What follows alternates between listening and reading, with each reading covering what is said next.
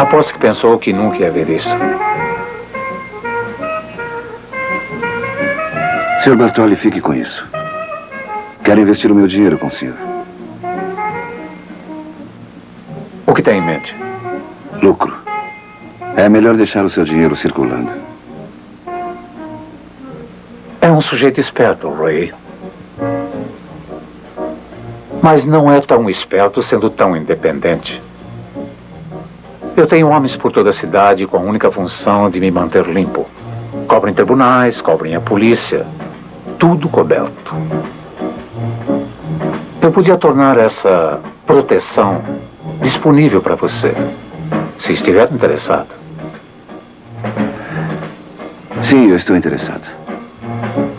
O que precisa entender é que numa organização é quem está no topo que toma as decisões. Eu sei do que está falando, Sr. Bartoli. Então está pronto para subir na vida, não é, garoto? Já está na hora, não? Sim. É... Três sujeitos roubaram uma das minhas lojas. Eles acham que eu não vou descobrir quem fez isso. Acho que vai ficar por isso mesmo. Você pode cuidar disso? É, é claro. Deixa comigo. É o seu amigo Adon.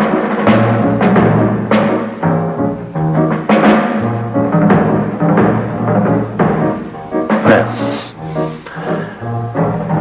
Carlo, os dois drinks são por conta da casa.